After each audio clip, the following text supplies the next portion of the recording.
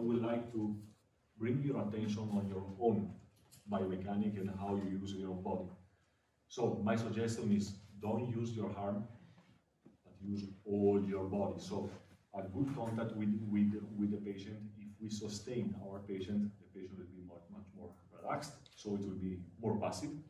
And for me, it will be easier to, to evaluate. So let's suppose I want to test uh, extension, for example, in the thoracic spine.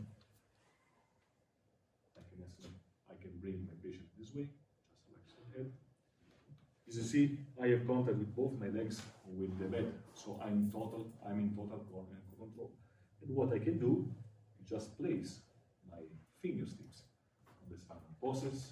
If I want, I can check also laterally, so to check more the uh, joint area. And what I can do is just propose an evaluation in, in extension.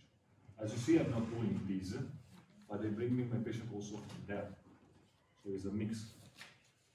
You see that my yes is almost not working. I'm just moving my body left and right.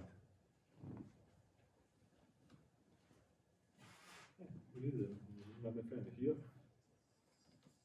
Okay? It's clear?